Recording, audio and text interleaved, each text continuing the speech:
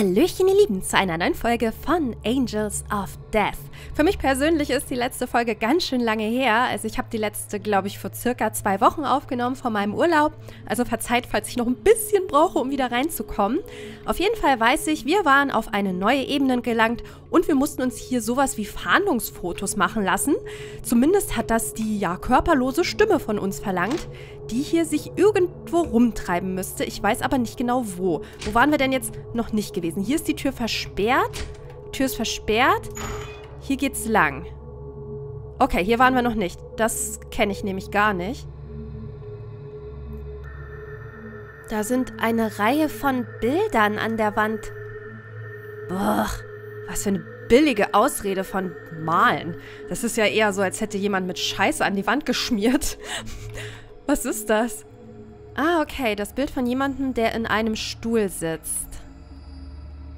Das Bild von einer Art, ja, grünem Geschribbel, äh, von einem Gesicht, das Schmerzen leidet.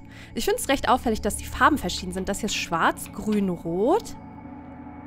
Oh, da wurde jemand von ähm, Spikes aufgespießt. Oh, das ist aber nicht gut. Das ist eine Spritze und das hier? Ja, ein lächelndes, eine lächelnde Frau. Das passt nicht so ganz in die Reihe, würde ich sagen. Außer das sind verschiedene Todesarten. Und das hier ist der Killer dieser Ebene. Willkommen. Oh, hast du die Bilder an der Wand gesehen? Oh, ich habe so wundervolle Strafen für euch vorbereitet.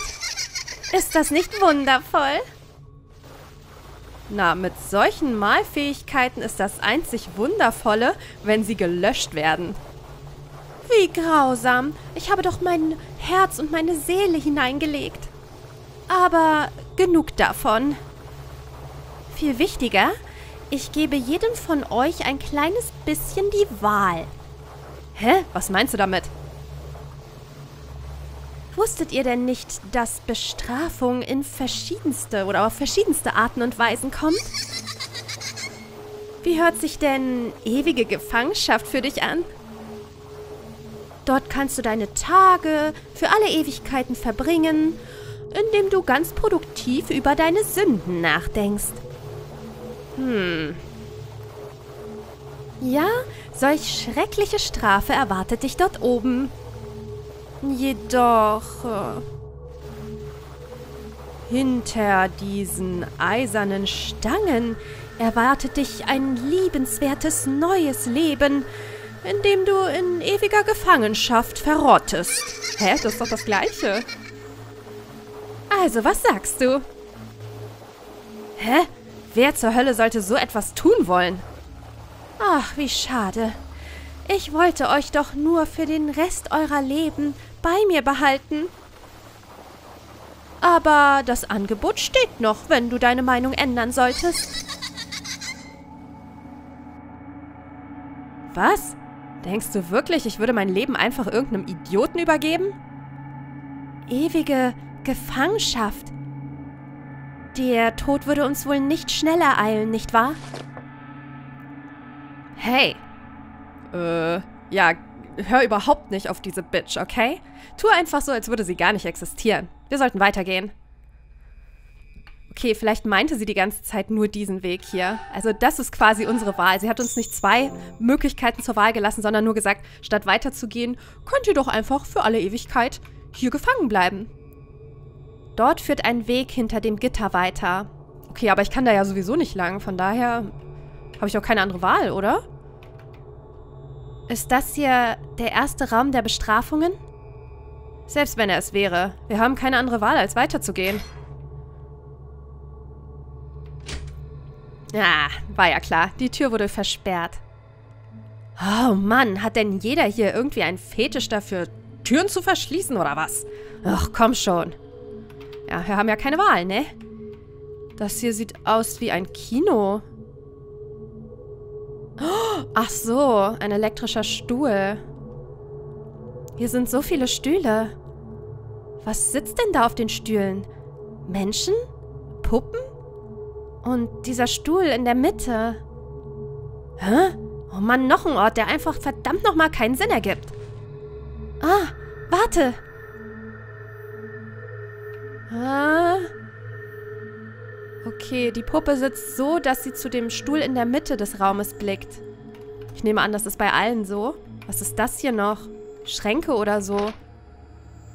Da sind nur Reinigungswerkzeuge. Äh, oh! Oh, ein Rack. Also ein Rack ist, glaube ich, ja, so wie ein Putztuch. Moment. Es ist ziemlich dreckig. Total dreckig. Damit kann man gar nichts sauber machen. Hm, aber vielleicht finden wir ja noch eine Verwendung dafür. Gut, dass ich mal reingeschaut hatte in den Schrank. Ich hatte gar nicht erwartet, dass da überhaupt was drin ist. Okay, da kommen wir nicht weiter. Das sind also alles Puppen, hä? Huh? Ja, scheint so. Jedenfalls, äh, wir sollten darüber nachdenken, wie wir hier durchkommen. Okay. Nur um sicher zu gehen, du solltest dich auch umschauen. Werde ich machen. Okay, das haben wir ja jetzt schon eingesammelt. Was ist das hier denn? So eine Art Maschine, aber sie funktioniert nicht. Und die nehme ich an auch nicht. Das ist ein Stuhl mit Fesseln. Hier riecht etwas so, als würde es verbrennen. Okay, ja, mehr können wir ja auch nicht machen. Wahrscheinlich mussten wir halt diesen Lappen finden, den ich jetzt sowieso gefunden hatte. Hast du irgendwas... Ach nee, hast du irgendwas gefunden? Nun, hier ist eine Tür auf die andere Seite, aber eine Wand blockiert den Weg. Hä? Und du hast sie nicht zerstört, weil... Hä? Hör mal zu, du Punk. Diese Wand hier, die ist aus Eisen, die kann ich nicht einfach kaputt hauen.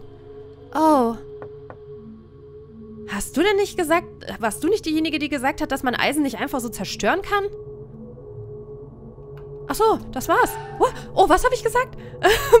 äh, was zur Hölle? Wieso sitzen hier eigentlich diese ganzen Puppen in den Stühlen? Ich bin mir nicht sicher. Außerdem sind sie voll hässlich. sind sie das? Mann, du hast ja einen komischen Geschmack. Was waren da noch? Ach so, kann ich nochmal talken? Hey, wenn du Zeit hast, mit mir zu reden, dann hast du auch Zeit, einen Weg hier rauszufinden. Bewegung. Es ist irgendwie anstrengend, zu lange an einem Ort zu bleiben. Naja, du könntest dich ja auf einem der Stühle dort ausruhen. Was? Nein. Und diesen Puppen so eine Art Lapdance anbieten? Auf keinen Fall. Voll geil. Ähm, kommt noch was? Ähm, keines dieser Stockwerke macht auch nur den geringsten Sinn. Was meinst du damit? Naja, wo man auch hingeht, sind es einfach nur verrückte Fallen. Okay, und da ist leider der Text jetzt aus der Textbox raus. Ich bin mir ziemlich sicher, dass die Gegend, in der du warst, nur eine versperrte Tür hatte, nicht wahr? Oh, stimmt. Ziemlich anders als hier, hä? Huh? Warum denkst du, ist das so? Ja, keine Ahnung. Ich hab halt nur da abgehangen, wo man mir befohlen hat, abzuhängen. Sogar diese verdammte verschlossene Tür hat mich mega genervt. Sie sollten mich einfach in Ruhe lassen, um zu jagen und zu töten. Was ist überhaupt das Problem von dieser Bitch? Dass sie einfach Türen verschließt und mit uns labert, wann immer sie Lust hat. Ich äh, glaube, dass sie durch die Sicherheitskamera Kameras alle unsere Bewegungen beobachtet. Äh? Ich hoffe, das ist ein Scherz. Das ist ja voll gruselig. Hast du sie nicht gesehen? Wie sollte ich denn? Es ist ja nicht so, als könnte ich auf magische Art und Weise in Verbindung zu ihr treten durch einen Bildschirm oder so. Außerdem ist es voll langweilig, Leute zu beobachten. Das ist nicht so meine Sache. Selbst wenn diese Eisenbarren, also diese Eisenstangen, nicht zerstörbar sind, äh, ja, ist es eigentlich ziemlich praktisch, die Sachen zu zerstören. Das ist dann schnell erledigt, richtig? Jetzt geht das wieder los. Ach, hör auf rumzuheulen. Wenn du mich mal brauchst, um irgendwas zu zerstören, weißt du, wo du mich finden kannst. Ja, wenn ich mal was brauche, was zerstört werden muss, dann ähm, werde ich es dich wissen lassen. ist doch sehr praktisch. Er zerstört halt gerne. so, also hier war jetzt leider nichts weiter. Vielleicht ist bei einer der Puppen was. Hier, tatsächlich. Dieser Raum sieht so aus, als würde er etwas verstecken, aber alles scheint fest zu sein und gibt nicht nach. Und auch all diese Puppen sind regungslos. Vielleicht sollte ich Zack das wissen lassen. Er wird darüber aber nicht erfreut sein. Aber er wird es schon... Ja, er wird, es, er wird schon drüber hinwegkommen. Hast was gefunden? Ähm... Hä? Hast du dich überhaupt umgeschaut? Äh, ähm... Also, du hast keine Ahnung, wie es rausgeht, hä? Huh? Ja, was das betrifft. Verdammt! Was ist denn? Hä? Äh, okay, ich gehe mal zu ihm. Hey, bist du dir sicher, hier ist nichts? Nein, nicht sicher. Aber was ich weiß, ist, dass ich noch irgendeinen Hinweis finden muss. Oh, hör auf, mich zu verscheißern. Wenn es hier nichts gibt, wie wäre es dann, wenn ich einfach anfange, alles zu zerstören, kaputt zu hauen, hä? Wäre das nicht viel schneller? Aber es gibt keinen Hinweis, dass das etwas bringen würde. Hä? Kein Hinweis? Es gibt keinen Hinweis, dass ich nicht die Sachen zerstören kann? Ähm, könntest du ganz kurz noch warten? Oh Mann, ich bin so angepisst. Nein! Nicht dahinsetzen. Kein Weg nach vorne, kein Weg zurück. Oh Mann, dieser Scheiß ist so anstrengend. Hey, also, ich würde mich nicht in diesen Stuhl setzen, wenn ich du wäre. Hä? Ach, lass gut sein. Hm, ich habe kein gutes Gefühl. Ich speichere mal ganz kurz. Also, ich würde aus dem Stuhl raus, wenn ich du wäre. Oh, was ist denn los? Konntest du hier nichts finden oder was? Aber dieser Stuhl. Ah, was ist denn mit diesem Stuhl? Naja, der ist wahrscheinlich für Hinrichtungen gedacht als elektrischer Stuhl. Oh! Oh, was zur Hölle? Ray, steh dich da so rum. Tu etwas. Oh, okay, eine Sekunde. Ein Bildschirm. Oh, oh. Da ist der Killer. Hallöchen. Tut mir leid, dass ich nicht persönlich da sein kann. Ich verurteile die Schuldigen auf diesem Stockwerk. Vergesst das nicht. Ich bin die letzte Sache, die ihr sehen werdet. Kathy. Nun, mein sündenvolles Duo, habt ihr Spaß? Ach du meine Güte. Zack hat sich in diesen Stuhl gesetzt, hä? Huh? Shit. Hey, du Bitch. Hol mich sofort aus diesem Ding raus. Oh, ich fürchte, das wird nicht geschehen. Welche Art von Hinrichter, ich weiß gar nicht, ob man das so sagen darf, Hinrichter lässt seine Gefangenen denn wieder frei? Sag, mein Junge. Ach, ich werde ganz aufgeregt, wenn ich daran denke, zu sehen, wie ein Monster wie du sich meinen Strafen entzieht. Oh nein! Oh Gott. Das ist mal gar nicht gut. Oh nein. Er kann das doch gar nicht überlebt haben, oder? Wieso? Was ist denn, Zack? Was ist los? Das tut weh, du Bitch!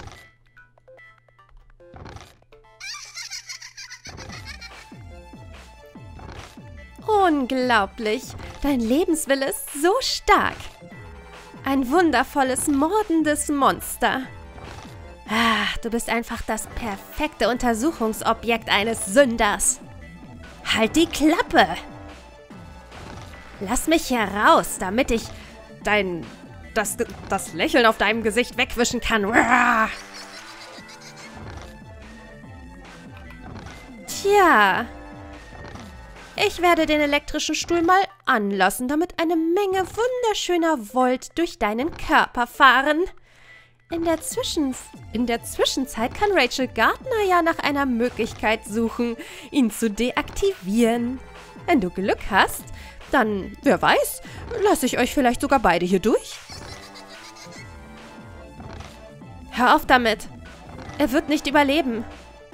Oh, nun hallo, mein Kind. Interessiert es dich nicht auch zu erfahren, was für ein monströser Sünder dieser Zack ist? Außerdem... Glaubst du wirklich, ein Sünder hätte hier irgendwelches Mitspracherecht? Also dann beginnen wir mit der Bestrafung. Ladies and Gentlemen. Jetzt bewegen Sie sich. Oh, genießen Sie, wie dieser Sünder Schmerzen leidet. Hey Ray! Du weißt, was du tun musst, oder? Du musst es tun. Oder ich kann mein Versprechen nicht einhalten. Vermassel es nicht. Beweise, dass du nützlich bist. Aber lass mich dieses sadistische Miststück ermorden. Oh, uh, Okay, ich werde tun, was ich kann. Hm, das Starren der Zuschauerschaft auf den Sünder, so ungefähr. Ja, dieser Blick ist äh, das Glück des Untergangs des Sünders? Hier treffen die Augen der Zuschauer auf die Strafe. Alles klar, nun möge der Spaß beginnen. Was muss ich machen? Und wieso durfte ich speichern? Die Augen der Zuschauer. Bedeutet das, diese Puppen sind die Zuschauer? Hm, was soll ich tun? Manche bewegen sich nicht. Genau, da, der bewegt sich nicht. Der Kopf ist herunter, also liegt auf dem, auf dem, ah, auf der Brust sozusagen. Diese Puppe bewegt sich nicht. Will es denn nicht nach vorne gucken? Ah, okay. Ich probiere das mal. Auch da hängt der Kopf. Ah, schnell! Und da noch? Genau. Hat das was gebracht? Ah, okay. D der Strom wird schwächer. Das schaue ich mir mal an. Okay, ein bisschen schwächer ist es geworden. Zack, wie geht es? Wie es, wie es geht? ich muss noch irgendetwas schaffen. Vielleicht müssen noch mehr Puppen wegschauen. Okay, hier ist alles festgemacht und es scheint nicht beweglich zu sein. Wartet mal, aber das hier bewegt sich anders. Ah, okay, super. Uh, ich habe den Kopf einfach mal so umgedreht. Äh, vielleicht das hier noch? Und hier würde ich sagen, bewegt sich das hier auch anders. Ah, nee, doch nicht. Vielleicht die beiden? Oh, das ist so eklig, ey. Dann aber das hier auch noch. Heiß, heiß, au! Halte durch. Und der hier auf jeden Fall. Ist es noch schwächer geworden? Ich wusste es. Es wird noch schwächer. Aber wie kann ich dafür sorgen, dass auch der Rest der Puppen wegschaut? Wenn ich doch nur bewirken könnte, dass die Köpfe der Puppen sich bewegen. Jetzt, wo ich darüber nachdenke, hatte Zack nicht eine Sichel? Oder dieses andere. Äh, ich komme immer durcheinander mit Sichel und dem anderen Werkzeug. Nicht besser, Zack? Uh, uh, uh, willst du mich verarschen? Kannst du mir vielleicht eine Sichel rüberschmeißen? Hier rüberschmeißen. Ich brauche sie für etwas. Verdammt nochmal. Okay, jetzt tu etwas. Du weißt genau, was passiert, wenn ich sterbe, nicht wahr? Ich komme nicht ran. Ich kann mich nicht bewegen. Du musst das jetzt schaffen. Wenn du stirbst, dann ist alle Hoffnung für mich verloren. Das kann ich nicht zulassen. Oh, ich werde dich töten, dich töten, dich töten, dich töten. Wen töten? Halt die Klappe. Antworte mir nicht. Jetzt beeil dich und rette mich. Oh Mann, sie liegt auf der anderen Seite. Es ist heiß. Ich kann es nicht direkt anfassen. Ah, ah, ah, ah. Okay. Ja, genau, mit diesem Lappen. Super cool. So, wir haben die Sichel. Boah, die ist ja schwer. Okay, wahrscheinlich bin ich nicht... Ja, werde ich nicht so sauber arbeiten wie Zack. Aber ich gebe mein Bestes. Okay, los. Kopf ab. Jetzt machen wir das noch mit allen, die übrig sind, würde ich sagen. Sind ja einige. Ich weiß gar nicht. Ach so, die läuft so langsam, weil der Kopf so schwer ist. Äh, äh Quatsch, die Sichel. Ich glaube, es heißt nicht Sichel. Sichel ist, glaube ich, das Kleine. Und ich nehme doch mal an, dass... Scheiße! Du kannst so laut sein, wie du willst. Sprich mit mir, wenn du noch am Leben bist. Mann, du bist so egoistisch. Weißt du denn nicht, dass ich hier drüben gerade am Sterben bin? Ah, es freut mich zu wissen, dass es dir gut geht. Ja, solange er noch schreien kann, ist wohl alles in Ordnung. Und sich beschweren kann vor allem. So, hier noch. Okay, und noch zwei. Komm schon. Ah. Fast geschafft. So. Jetzt müsste er eigentlich gerettet sein. Ich glaube, das Geräusch wird auch wirklich immer leiser von diesen elektrischen Stromstößen. Das war, glaube ich, doppelt gemoppelt, elektrische Stromstöße. Es hat aufgehört. Ob es Zack gut geht? Oh, die Tür ist offen. Zack, geht es dir gut? Zack? Hey. Was zur Hölle? Wieso hast du so lange gebraucht? Ein wenig länger und ein Tropfen meiner Pisse hätte die Welt tausend Jahre zum Laufen bringen können. du bist also am Leben. Ding, ding, ding, ding. Ja, richtig. Gott sei Dank. Ich weiß nicht, was ich hätte tun sollen, wenn du gestorben wärst. Ach, Dummerchen, als ob ich so einfach sterben würde. Unglaublich. Die ist ja mal mega nervo, diese Böse hier auf der Ebene. Cathy, ne, glaube ich. Einfach unglaublich, er hat überlebt. Ich wusste es. Die, das Durchhaltevermögen mörderischer Monster, das macht sie ja so spannend. Ah, was für ein hervorragendes und perfektes Untersuchungsobjekt du bist, Zack. Um die Wahrheit zu sagen, ich hatte gehofft, Zeugin zu werden, wie das Leben deinen Körper verlässt. Aber zu sehen, äh, aber da ich gesehen habe, wie hart sie gearbeitet hat, das hat mich doch überzeugt, diesmal nett zu sein. Ihr dürft weitergehen. Außerdem Bestrafung für Sünden ist keine einmalige Sache. Schließlich muss man so oft bestraft werden, wie man Sünden begangen hat. Ist das nicht wundervoll? Na, mit der werden wir ja noch viel Spaß haben. Danke. Du sadistische Bitch. Oh, und dieser bescheuerte Lacher, der pisst mich auch an, ey. Wenn du dich nicht sicher hinter diesem Monitor verstecken könntest, hätte ich dich schon zerschlitzt oder aufgeschlitzt. Hey, gib mir das zurück. Okay. Was zur, was zur Hölle ist das? Da, da ist ja überall Dreck dran. Naja, ich habe sie benutzt, um die Köpfe der Puppen abzuschneiden. Was hast du? Bist du etwa so eine Art puppenkillender Psychopath? Was zur Hölle hast du da getrieben? Nun, es schien, dass der Mechanismus etwas mit dem Blick äh, der Puppen zu tun hatte, und deswegen habe ich dafür gesorgt, dass sie nicht mehr in deine Richtung blickten.